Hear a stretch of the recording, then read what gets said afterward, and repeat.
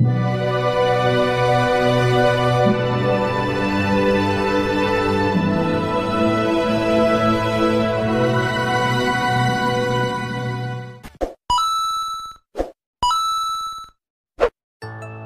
hai semuanya Nah di video kali ini Mimin akan ngebahas momen ular yang bersembunyi di tempat tak terduga Pasti pada penasaran kan dengan kejadiannya?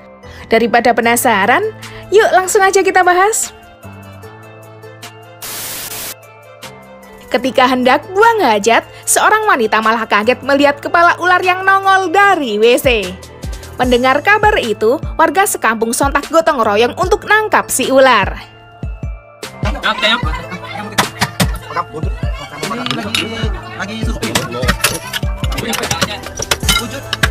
Awas mundur. Ayo lu, kontak lu. Mana betul kamu? Betul bawah. Nok, nok, apa kita itu? Mana kita sekali? Yuk, tanya mereka. Bela, bela.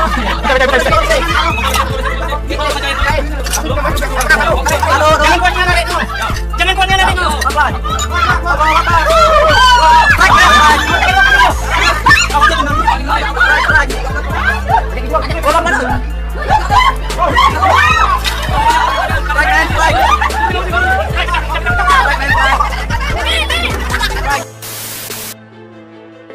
Ketika sedang naik motor, seorang pria malah curiga dengan suara desisan di dalam motornya.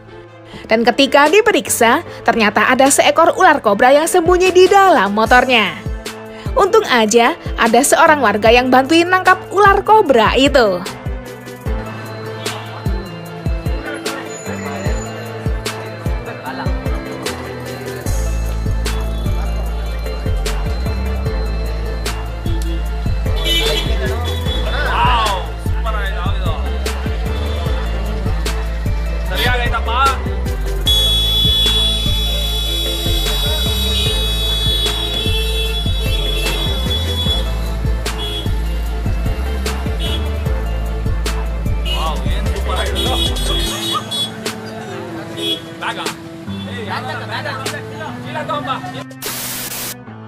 Mungkin ingin mencari kehangatan, seekor ular kobra malah sembunyi di dalam sepatu seorang warga.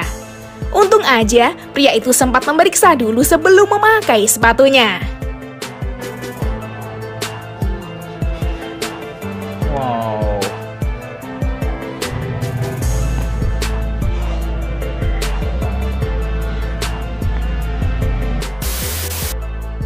Ketika markirin motor di pinggir jalan, pemilik motor malah digagetkan oleh ular besar yang hendak masuk ke dalam mesin.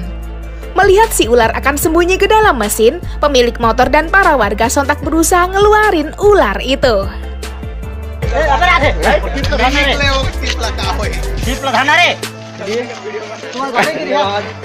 रुक जा रुक जा बहुत कोशिश होगा तो ही निकल पाएगा गाड़ी को साइड करना चाहिए गाड़ी पकड़े रहो माल गाड़ी को गाड़ी की साइड कर लेंगे तो उसको निकालने में थोड़ा सा बाबा बाबा भारी ताकत है बाबा बहुत बहुत